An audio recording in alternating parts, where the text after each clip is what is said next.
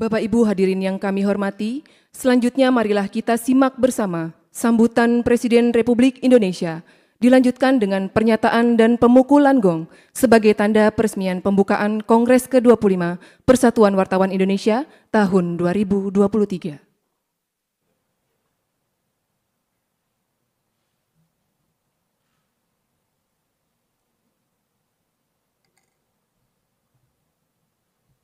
Bismillahirrahmanirrahim. Assalamualaikum warahmatullahi wabarakatuh.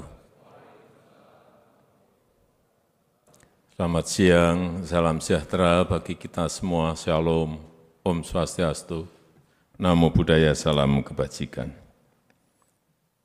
Yang saya hormati para Menteri Kabinet Indonesia Maju, yang saya hormati Ketua Dewan Pers, Ibu Nini Estrahayu, para tokoh dan sesepuh pers, Ketua PWI Pusat, Bapak Atal S. Depari, beserta seluruh Ketua PWI Provinsi, Kota dan Kabupaten se-Indonesia, yang saya hormati pimpinan Forum Pemimpin redaksi, pimpinan dan direktur perusahaan media, seluruh anggota PWI dan peserta kongres, hadirin dan undangan yang berbahagia. Tadi disampaikan Pak Atal mengenai tahun depan di Solo, APN-nya, saya menawarkan di KN.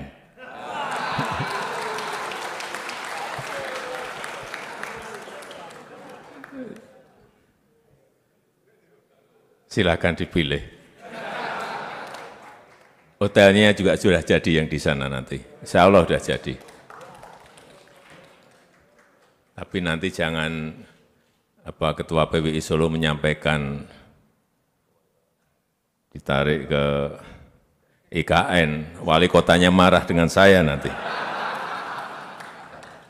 Yang kedua, saya tawarkan ini kongresnya kan di Bandung. Sore ini naik kereta cepat,